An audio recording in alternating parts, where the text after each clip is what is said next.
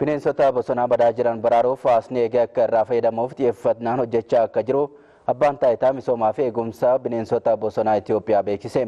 Abaataa Fayyisaa gabaasa dabalataa qaba.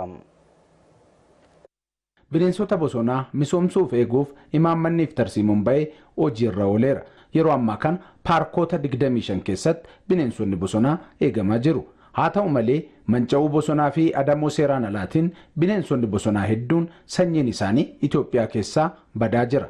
Abbaan taayitaa misoomaaf eegumsa bineensota bosonaa Itoophiyaas dhimma kanarratti miidiyaaf ibsa kenneera.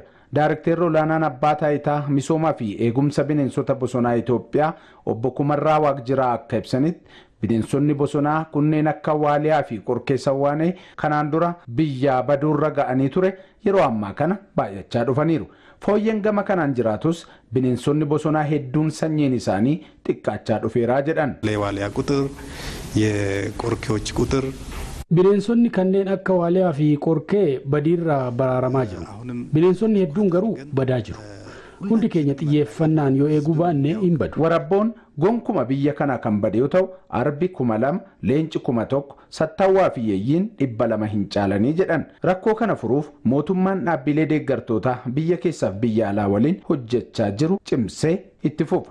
Hawaasnis bineensota badaa jiran kana eegee akka irraa fayyadamuuf xiyyeeffannaan hojjannaa jedhan daarekteerri olaanaan abbaa taayitaa misoomaa fi eegumsa bineensota bosonaa Itoophiyaa obbo Kumarraa Waaqjiraa.